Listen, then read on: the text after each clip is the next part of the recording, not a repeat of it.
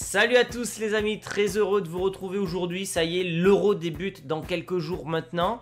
Et on va essayer de deviner, de pronostiquer qui va gagner ce championnat d'Europe 2021. Bien sûr, il y a des favoris qui se dégagent, mais grâce à ce site donc euh, sur l'UFA, gamingufa.com que m'a envoyé un abonné, eh bien on peut déjà en fait visualiser comment va se comment va se passer le tournoi. Donc c'est super sympa. J'ai commencé à tester, donc c'est pour ça que j'ai placé la Turquie. Et donc on va voir ensemble ben, qu'est-ce qui va advenir des, grosses équipes comme la France, comme l'Espagne, l'Angleterre, etc. La vidéo est sponsorisée par OneFootball. Vous le savez, si vous voulez tout savoir sur l'euro, l'actu, les résultats, le calendrier, vous avez juste à télécharger l'application.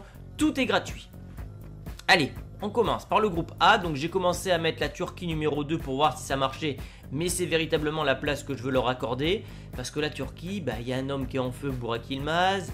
Euh, il y a un effectif qui montait en puissance, qui a battu la France. Euh, Demiral de la Juventus, Seanoglou du Milan. Il y a quand même de très très bons joueurs. Donc je vois la Turquie faire un coup. Évidemment, les Italiens vont terminer premier. Les Italiens, bon voilà, ils sont sur une série de quoi 27 ou 28 matchs d'affilée sans défaite. L'équipe de Mancini a été renouvelée entièrement. Euh, elle est dynamique, elle est jeune, elle va vers l'avant, elle fait plaisir à voir. Rien à voir avec l'Italie euh, d'il y a quelques années qui était très défensive. Euh, le Pays de Galles, je ne les sens pas. Je les sens pas, le Pays de Galles, je les ai vus jouer contre, contre la France. Alors c'était l'équipe B, mais voilà, Gareth n'est plus aussi motivé qu'avant. donc non, je vois pas. Et par contre, les Suisses, je les vois troisième. Voilà. c'est pas une équipe que je connais beaucoup. Euh, je connais plus les Turcs, plus les Gallois, mais euh, j'en ai pas tellement entendu parler. C'est vrai qu'ils sont très discrets les Suisses, mais voilà pour ce premier groupe. On passe au groupe B.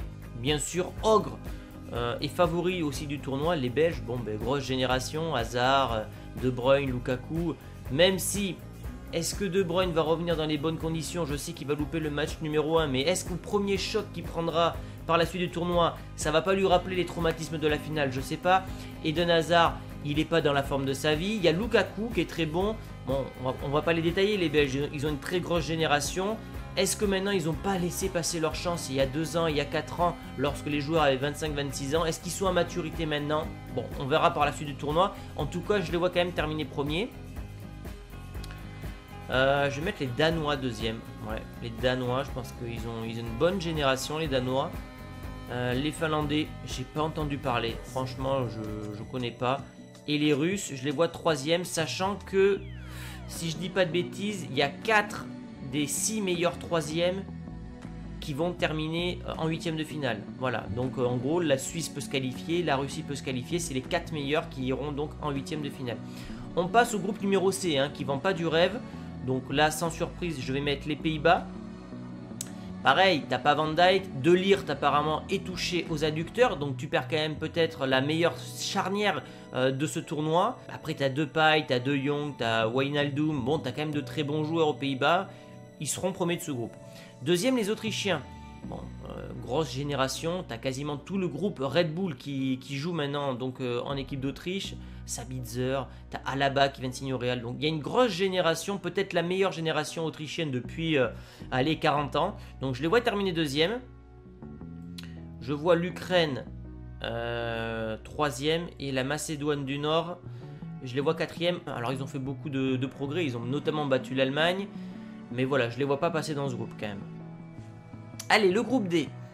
Bon, l'Angleterre qui fait office d'ogre aussi et de favori à ce tournoi parce que les Anglais vont jouer quasiment tous leurs matchs à domicile. Ils ont la génération dorée, Foden, Mount, euh, tout ça. Euh, donc voilà. Après, les Anglais, il faut se méfier. À chaque fois, ils ont de grosses générations. On se souvient de la génération Lampard, Gerrard, Beckham. Ils n'ont jamais gagné depuis 66. Alors là, ça va être compliqué parce que les Croates sont pas dans la forme de leur vie. Je vais les mettre troisième, les Croates. Voilà, parce que ben, la génération Modric, Rakitic, ça vieillit, ça vieillit. Et alors là, par contre, je vais mettre l'Écosse deuxième et les Tchèques quatrième, pareil. Euh, là, ce ne sont, pas des nations que je regarde jouer. C'est plus au feeling, honnêtement, je vais pas vous mentir, je vais être honnête avec vous. Dans le groupe E maintenant, donc l'Espagne premier, hein, ils viennent de dominer le Portugal, grosse génération. Il n'y a pas de madrilène, ça fait scandale en Espagne. Luis Enrique ne veut pas de madrilène, ancien catalan. Euh, Laporte a rejoint les rangs espagnols du coup. Euh, le style de jeu est toujours le même, dynamique vers l'avant, rapide à ras de terre, donc l'Espagne n'a pas changé. Je dirais qu'offensivement elle me fait moins peur que par le passé, mais qu'il y a encore une belle génération euh, à venir. Euh, alors là, c'est compliqué. Je vais mettre les Polonais deuxième. Voilà, parce qu'il y a Lewandowski. Alors, je crois que Milik est forfait, à confirmer. Je vais mettre la Suède troisième et les Slovaques, les Slovaques derniers. On passe au groupe de la France, c'est finalement le groupe qui nous intéresse le plus. Je vais mettre la France premier, première, pardon. Voilà, pour moi, elle a le meilleur effectif, elle a la confiance, elle est championne du monde. Euh, on a vu que ça combine très bien avec euh, la triplette offensive Griezmann, Mbappé et Benzema. Et quand as un joueur comme Mbappé, ça va faire peur aux défenses adverses de ne pas laisser d'espace. Au milieu de terrain, tu as Kanté qui est le meilleur milieu au monde, tu as Pogba et défensivement, voilà, Varane qui peut bien. Cette équipe n'a pas de point faible, donc pour moi, elle est favorite du tournoi. Alors, je vais mettre l'Allemagne deuxième, le Portugal troisième et la Hongrie dernier. Voilà. Euh, parce que le Portugal, ils m'ont pas plu dans l'animation offensive contre l'Espagne.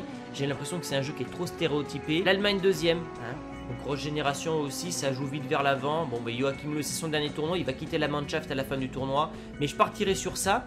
Là, je pense qu'il me demande de choisir ceux qui doivent être qualifiés. Donc je vais mettre Portugal. Euh, après, c'est au nombre de points. Je vais mettre les Suédois. Euh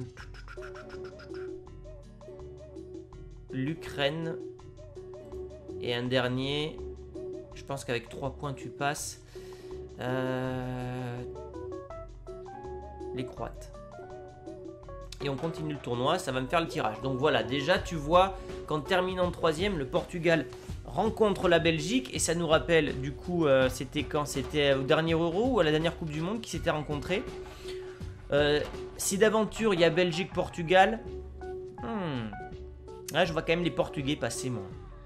Parce que le Portugal, comme j'ai dit, au, niveau de l'animation offensive, c'est catastrophique. Mais ils ont tellement de talent. Ils ont tellement de talent. On parle de Bruno Fernandes, Joao Félix, Bernardo Silva, Cristiano Ronaldo.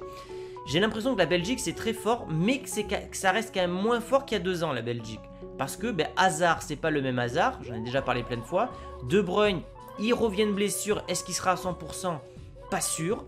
Alors, il y a Lukaku qui est dans la forme de sa vie, mais je, mettrai le Portugal quand même. Italie, Autriche. Bon, mais là, on va tous être d'accord, l'Italie. L'Italie, ouais, je, les vois très très fort, l'Italie. France-Ukraine. Bon, mais les Français, très bien. Je pense que là, ça serait d'ailleurs un très bon tirage pour eux. Pologne, Écosse. Je pense que la Pologne, elle est armée. Hein. La Pologne est armée pour, euh, passer l'Écosse. Hein. Ils, ont, quand même une bonne génération, les, Polonais. Puis ils ont le meilleur buteur euh, du monde, hein, qui est euh, Lewandowski. Espagne-Croatie, c'est le match que j'ai vu à l'Euro 2016 euh, au stade de, Bordeaux et qui avait vu la victoire des Croates de buts 1. C'était en phase de poule. Cette fois, je pense que l'Espagne passerait face aux Croates. Et là, par contre, on aurait un choc entre l'Allemagne et l'Angleterre. Et je verrai passer l'Allemagne. Pourquoi? Parce que les Anglais, J'adore les Anglais. Franchement, leur équipe me vend du rêve. Mais sur le papier, c'est très beau. Sur le terrain, euh, avec la pression. Alors, ils vont jouer à domicile. Mais les Allemands, ça reste les Allemands. Voilà. Euh, comme, comme ils disent en Allemagne, un tournoi gagné, c'est un tournoi qui est réussi. Un tournoi raté, c'est quand tu as terminé en finale ou en demi-finale. Je vois pas les Allemands s'écrouler euh, avant. Ils ont déjà eu le séisme en, en 2018. Je ne les vois pas recommencer les Pays-Bas qui passent, et enfin je vois les Turcs dominer les Danois. On repart en haut, et là déjà on voit qu'il y a encore des chocs, Portugal-Italie. Ah. En fait, le Portugal, ils sont pas bons dans l'animation offensive, mais derrière, c'est monstrueux en fait. Parce qu'ils vont avoir Danilo qui va être devant la défense, tu auras Ruben Diaz et Pepe, euh, t'as Rui Patricio dans les cages, ils vont jouer en contre-attaque. En fait, le Portugal sera très chiant à jouer. A contrario, l'Italie, très, enfin, très belle génération, hein, ça, fait plaisir à voir jouer, c'est beau. Mais est-ce qu'ils auront l'expérience de jouer contre des équipes comme ça? Pas sûr. Je me dis que ça peut se terminer au penalty ou aux prolongations. Je vois le Portugal passer, à l'expérience au métier, mais euh, vraiment euh, dans un trou de souris. France-Pologne, voilà, la France qui est sur un très très bon parcours. Donc on voit qu'en fait, le premier de ce groupe aura un parcours plutôt facile jusqu'aux demi-finales. Hein. Donc d'où l'importance de terminer premier parce que le Portugal en terminant troisième peut avoir la Belgique puis l'Italie. Donc surtout ne pas terminer troisième de ce groupe. Je vois la France passer. On aura donc une demi-finale France-Portugal. Pareil, euh, si la France termine deuxième, elle rencontrerait l'Angleterre. Ça serait pas bon au niveau du tirage, puis l'Espagne. Donc en fait, si la France ben, veut éviter d'avoir un parcours de la mort entre Allemagne, Portugal, Angleterre, Espagne, puis une demi-finale contre les Pays-Bas et après une potentielle finale, il faut terminer premier de ce groupe. Donc, euh, Allemagne-Espagne, je vais mettre un avantage à l'Espagne. Pourquoi Parce qu'ils ont humilié les Allemands 6-0 il y a quelques temps. Ça peut rester dans les têtes. Je vois l'Espagne passer. Historiquement, sur les dernières années, l'Espagne domine l'Allemagne. Pays-Bas-Turquie, je vois euh, les Hollandais. Voilà, je vois les Hollandais passer. Mais après, voilà, est-ce que les Hollandais, s'ils n'ont pas De Ligt, s'ils n'ont pas Van Dijk, défensivement, ça sera aussi costaud Pas sûr. Hein. On sait que devant, il y a du beau monde, mais derrière, euh, derrière c'est plus compliqué. Donc, du coup, les demi-finales, ça me donnerait Portugal-France et Espagne-Pays-Bas. Voilà. France-Portugal, euh, ça serait la revanche de 2016. Mais euh, les Français, voilà, je pense qu'ils sont, ils sont. Je vois les Français battre les Portugais je vois les Français passer parce que je pense que devant la France, il y a, quand même très très peu d'équipes qui peuvent euh, leur rivaliser. Peut-être les Portugais d'ailleurs, mais je vois la France prendre sa revanche. Voilà. Du coup, la France irait en finale et là, je verrai les Espagnols. J'avoue que cette partie de tableau, elle est quand même, euh, elle est quand même euh, plus ouverte. Après, on, peut, on peut voir l'Angleterre en finale. Hein. L'Angleterre peut battre l'Allemagne, elle peut battre du coup euh, l'Espagne en suivant. Euh, le bas de tableau, c'est quand même assez ouvert. On peut se retrouver avec une Allemagne en finale, mais bon, moi je verrais un France-Espagne et victoire des Français, parce que voilà, les Français sont pour moi les ogres de ce tournoi. Il n'y a pas de surprise hein, en disant que voilà, qu'ils vont gagner le tournoi. J'ai pas fait un tirage au sort incroyable, je vous ai pas sorti la Pologne vainqueur de l'Euro. Mais voilà, la France, elle est solide sur toutes les lignes. Il y a la culture de la gagne chez Deschamps. T'es venu rajouter une pièce maîtresse qu'est Benzema. Franchement, je, ne vois pas comment la France peut perdre ce tournoi. Alors, t'as quand même un tournoi difficile, hein, parce que t'as le groupe de la mort.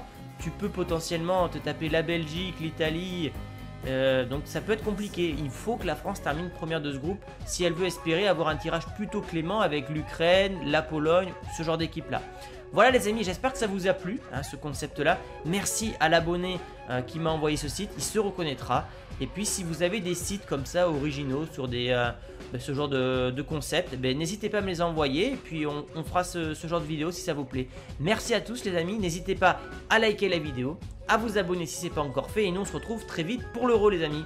Ciao